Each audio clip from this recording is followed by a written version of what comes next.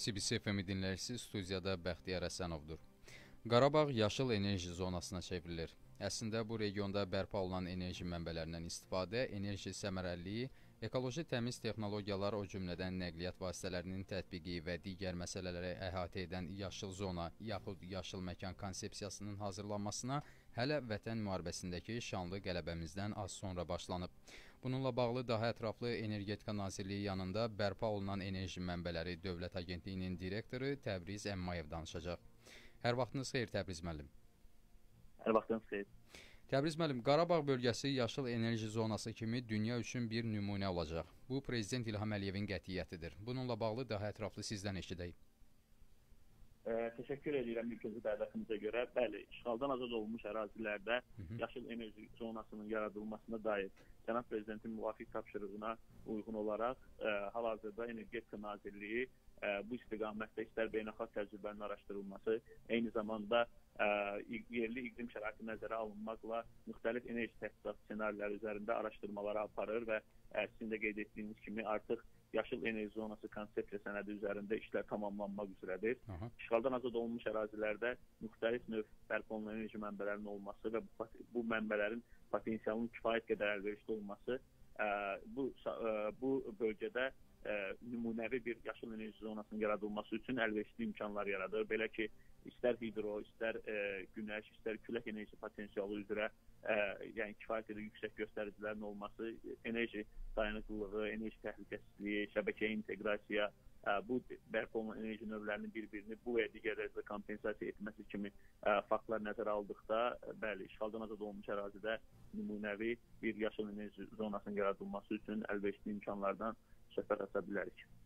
Təbriz müəllim, ümumiyyətlə azad edilmiş ərazilərdə külək, günəş və hidroenerji mənbələrinin potensialı necə dəyərləndirilir? İşğaldan azad olunmuş ərazilərdə ilk öncə hidroenerji potensialına gəldikdə qeyd etmək lazımdır ki, ümumiyyətlə ölkəmizin daxili su ehtiyatlarının təqribən 25%-i işğaldan azad olunmuş ərazilərdə formalaşır ki, bu potensialdan səmərəli istifadə etməklə enerji, elektrik enerjisi istehsalı mümkündür. Hı -hı. Ə, bu istiqamətdə hal-hazırda araşdırmalar, eyni zamanda ə, müxtəlif tədbirlər həyata keçirilməkdədir. İlk öncə ə, sənaye həcmli layihələrə gəldikdə mən Araz çayı üzərində Cəbrayıl rayon ərazisində Xudafərin və Qızqalası hidroqovşaqların tikintisi başa çatmaq üzrədir və bu hidroqovşaqlar üzər üzərində ə, Xudafərin və Suqalası su elektrik stansiyalarının tikintisi nəzərdə tutulur və Azərbaycan tərəfi üçün gücü bu stansiyaların 140 meqavat olacaqdır. Təqribən 2 il, 2 il yarım ərzində e, istismara verilməsi nəzərdə tutulan bu su elektrik stansiyaları ərazinin təmiz enerji, yaşıl enerji ilə ə, e, təmin olunmasına töhfə verəcəkdir. Bundan əlavə olaraq isə bildiyiniz kimi orada e, Tərtər çayı, Həkəri çayı və onların qolları üzərində ə, əlverişli hidroenerji potensialı vardır. Yəni ə, kiçik su elektrik stansiyaları tikməklə bu potensialdan səmərəli istifadə etmək mümkündür. Hal-hazırda artıq ə, mənfur düşmən tərəfindən heç bir ekoloji normalar gözlənilməyərək istismar ə, istismarda olan stansiyalar daha sonra dağıdılmışdır. Bu stansiyaların bəziləri bərpası üzərində artıq işlər aparılıb, ə, bəzi stansiyalar artıq istismara verilmişdir. Bu Filabir su elektrik stansiyasında su qovşan 1, su qovşan 2 su elektrik stansiyası, kiçik su elektrik stansiyalarını qeyd edə bilərik ki, bu stansiyalar hal-hazırda istismar olunur və ərazinin e, təmiz enerjinin təminatına öz töhfəsini verməkdədir e, və e, yəni ilkin araşdırmalar onu göstərir ki, bu ərazilərdə çoxlu sayda bu kimi kiçik elektrik stansiyalar vardır.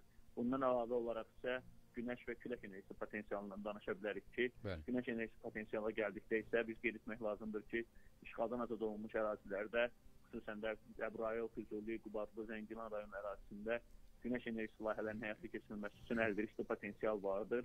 İlkin dəyərləndirmələr onu göstərir ki, Naxçıvan Muxtar Respublikasından sonra əlverişli günəş radiasiyası, yəni günəş enerjisi layihələrinin həyata keçirilməsi üçün məhz bu ərazilərdədir və təqribən 7200 meqavat e, günəş enerjisi potensialı e, qiymətləndirilir. Eyni zamanda külək enerjisi potensialına gəldikdə isə biz xüsusən Laçın və Kəlbəzəri qeyd edə bilərik ki, ə, e, bu ə, ərazilərdə ilkin dəyərləndirmə onu göstərir ki, təqribən 2000 meqavat civarında əlverişli külək enerjisi potensialı var.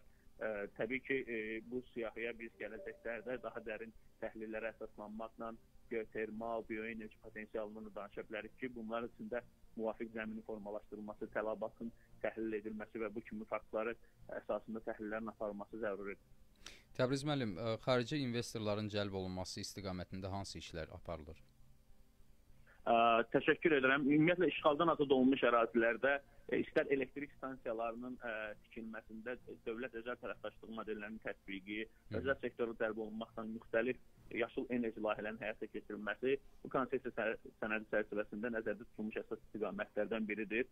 İlkin olaraq ə, belə deyim, ə, biz ə, konsepsiya sənədi hazırlanarkən beynəlxalq təcrübələrin öyrənilməsi məqsədi ilə e, bildiyiniz kimi Yaponiyanın Tetsuka şirkəti ilə əməkdaşlıq edilir və bu əməkdaşlıq çərçivəsində hal-hazırda ümumi yaşıl enerji zonasına konseptual baxış, ə, e, ümumi yaşıl enerji zonası və yaxud da elektrik enerjisi dəyər zəncirinin hər bir həlqəsində yaşıl texnologiyalardan istifadə, ekoloji ə, e, təmiz enerji səmərəli texnologiyadan istifadə üzrə ə, müvafiq araşdırmalar aparılır. Eyni zamanda bildiyiniz kimi cari ilin iyun ayında BP şirkəti ilə 240 meqavat gücündə günəş enerjisi, günəş elektrik stansiyası tikintisi üzrə icra müqaviləsi imzalanıb və icra müqaviləsi çərçivəsində hal-hazırda müvafiq gücdə olan günəş elektrik stansiyası tikintisi üzrə iqtisadi texniki təhlillər aparılmaqdadır.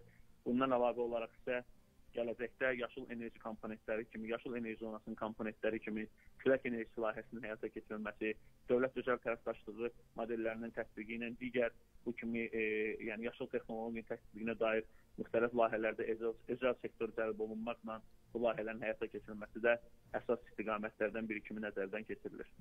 Təbriz müəllim bu cür ətraflı məlumatlara görə təşəkkür edirəm. Çox sağ olun. Siz sağ olun, təşəkkür edirəm. Təşəkkürlər. Həmsöhbətim Energetika Nazirliyi yanında bərpa olunan enerji mənbələri Dövlət Agentliyinin direktoru Təbriz Əmmayev idi. CBC FM-i dinləməyə davam edin, sağlıqlı qalın.